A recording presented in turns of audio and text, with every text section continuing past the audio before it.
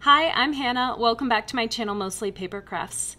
In today's video, I'm going to share with you some card inspiration using the August 2021 My Monthly Hero Kit from Hero Arts. I had a lot of fun playing with this. It did take me a couple of weeks to finish. I, well, this is one of those videos that I started and then, yeah, I finished like two weeks later. So I did end up making 10 cards, technically 11, and then a bookmark. But I think I have some creative ways of using the kit, hopefully some stuff that will inspire you to create some cards of your own.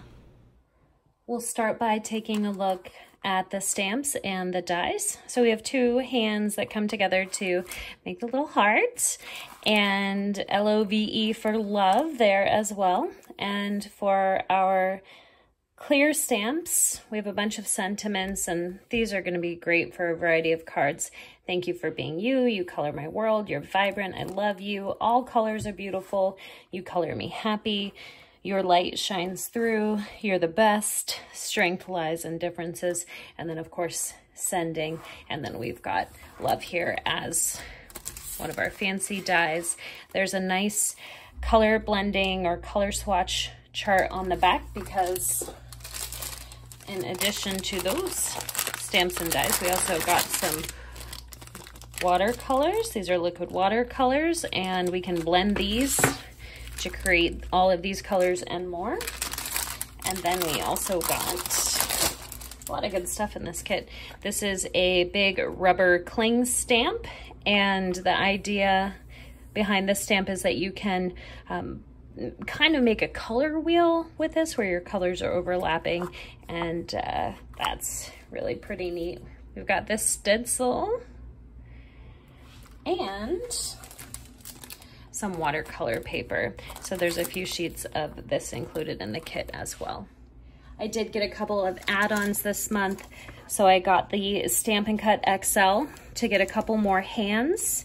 We get Hug, which is in about the same font as love. So I'm trying to think of some words I might want to put on cards that use the letters H-U-G, L-O-V, and E. And then these sentiments are in the same font as this main kit. So a bunch more things I can put on my cards and I can of course mix and match those with the main kit. I did also order the paper grab bag. I think this was six or seven dollars. And so there's a ton of paper in here. I'll show you that real quick. And then it said that there would be a special gift. And for me, at least, it was this cute little stamp set with the fairy and the mouse and some dandelions. Some cute sentiments too. I think this is a great value. If they still have this next month, I'll definitely order another one. So cute little stamp set. I got a couple of translucent envelopes and some fancy, this almost feels like handmade paper. It's like more of a fabric. And then check out all of this cool paper. These ones in the front are actually just flipped over. We've got the mirror and then this nice silver or uh, sorry, copper glitter paper. And uh, if you have watched many of my videos, you know how hard it is for me to use up my special papers that come in the kit. So I'm really excited to get just a bunch at once because that makes it easier for me to part with it when I know there's a bunch more. One more thing I wanted to show you, these were not add-ons for this month, but if you saw my last video, I've been playing around with the Hero Arts Lifestyle Paper Doll Collection, and these were the two sets that I didn't have, and after I had so much fun playing with the other ones, I knew I wanted to order these, and while I had the free shipping anyway, I figured that was the right time for it.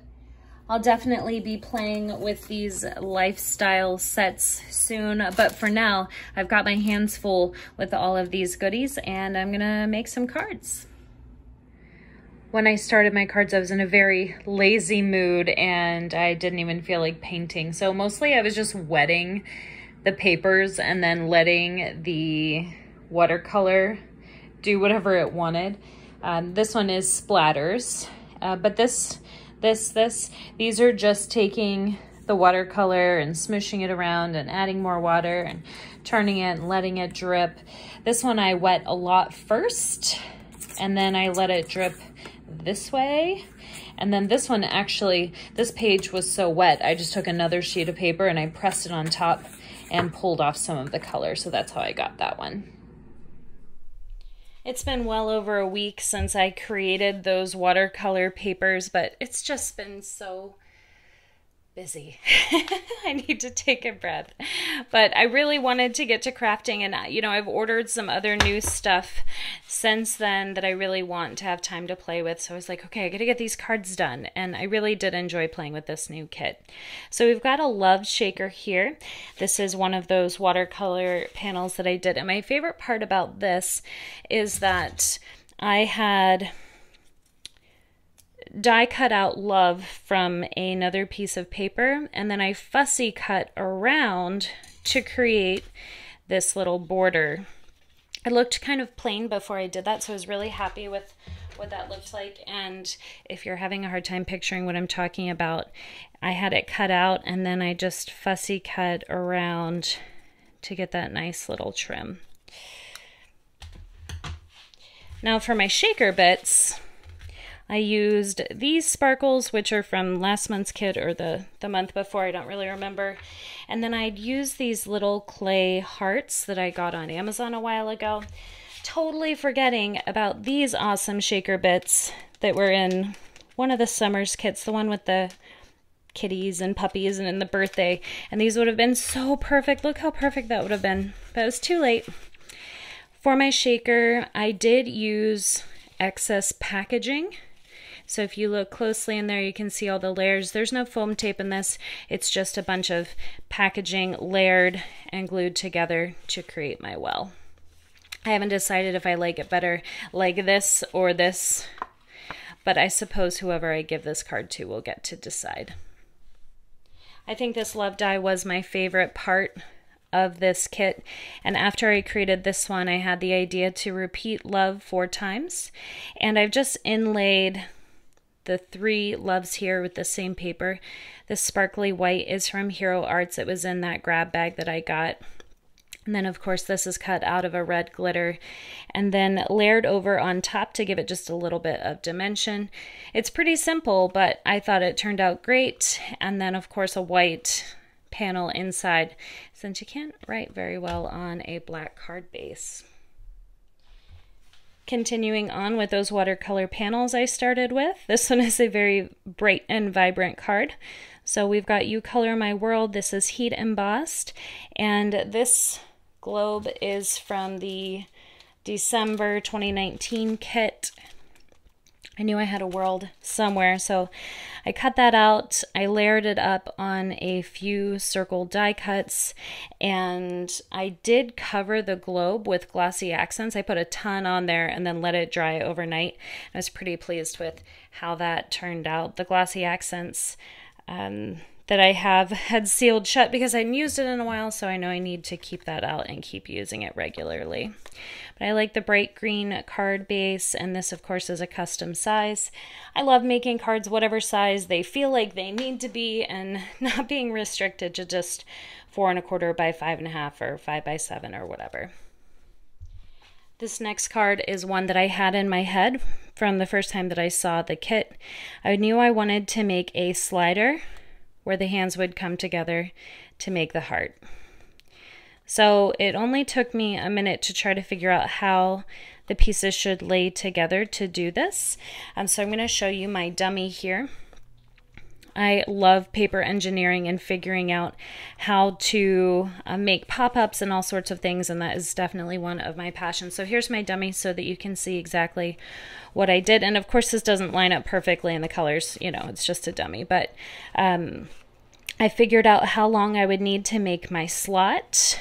And then for my mechanism to hold the hand here, it's actually just a tiny little rectangle of paper that's glued to this back strip and that pops through to the front. It's not fancy at all. Actually, maybe you can see it through the light there a little bit. Yeah, that's it. It's just a little rectangle of paper that goes through the slit and then glues to this back piece.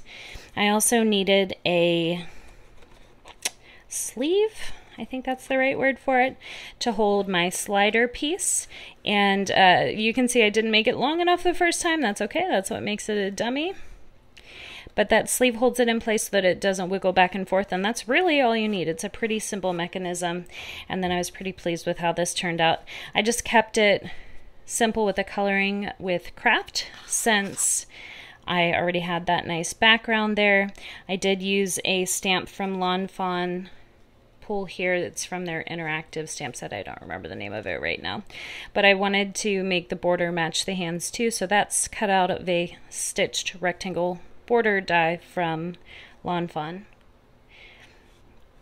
And it doesn't quite get all the way there, but what I wanted was to hide this channel, which you can see in the dummy here. So um, I was restricted a little bit with how far I could make it move. And the other thing that I wanted was for the hands to line up with the border when it was closed. So it doesn't quite make it all the way, but almost.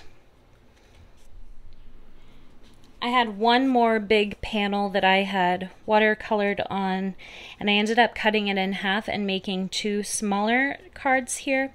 These again are custom size which I think is just fine and these sentiments are heat embossed and then I actually took the heart from the set and just used the clear Versamark with clear embossing powder just to give it a little something there. I like the way that it looks over the watercolored background because it does make it a little bit more saturated. Um, I feel like maybe I could use a little bit more, but for now, I think this turned out just fine.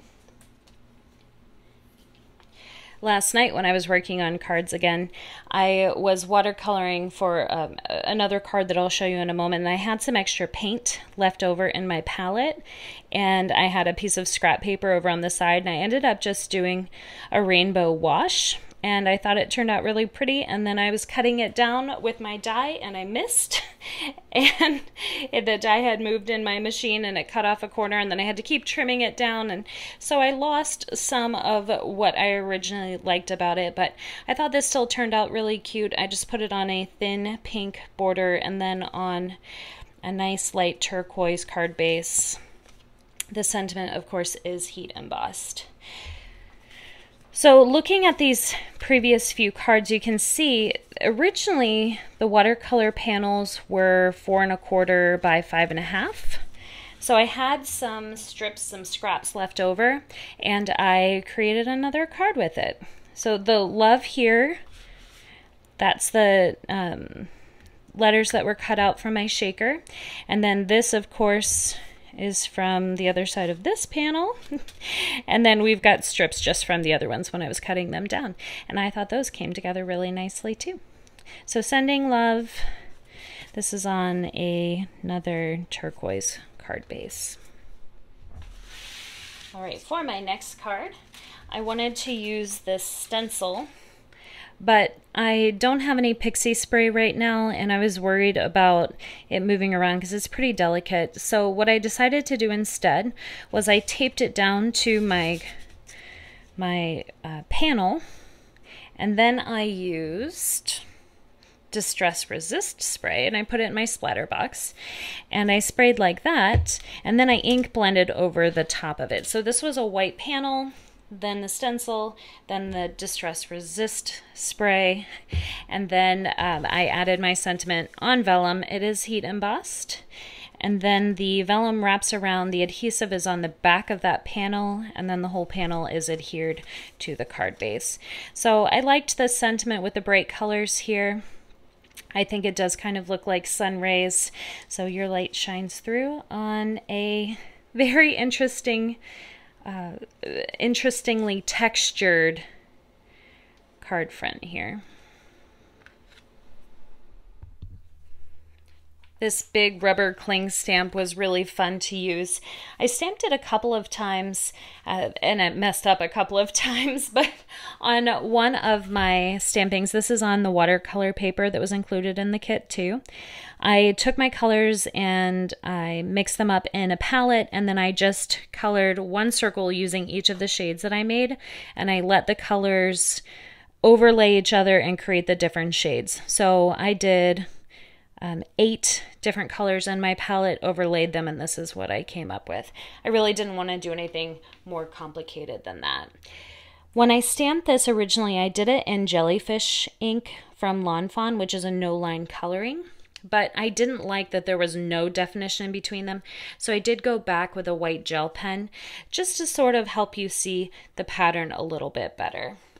And I really like the way that turned out. I cut it out around the edges and put it onto a black card base.